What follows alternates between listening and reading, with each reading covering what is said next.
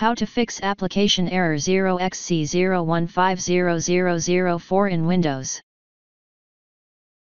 The Windows Store Apps Troubleshooter is a built-in utility that can automatically find and fix problems related to Windows apps. Follow these steps to run it.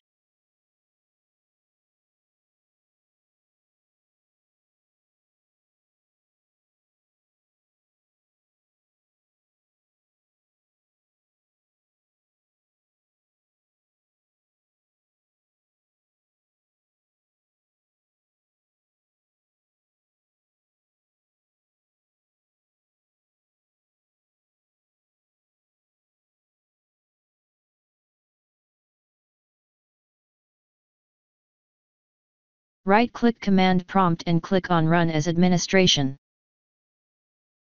Copy and paste the command that you will find in the description of this video.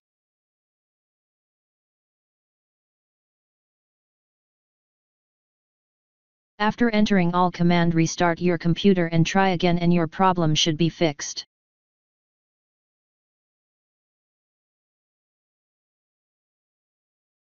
If that didn't work, Performing a clean boot starts Windows with a minimal set of drivers and startup programs. This can help identify if background programs are causing the 0xc0150004 error. Mark Hide all Microsoft services and select Disable all.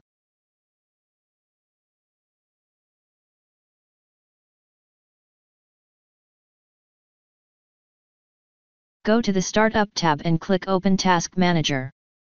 In the Task Manager, right-click on each of the items and select Disable, then close the Task Manager.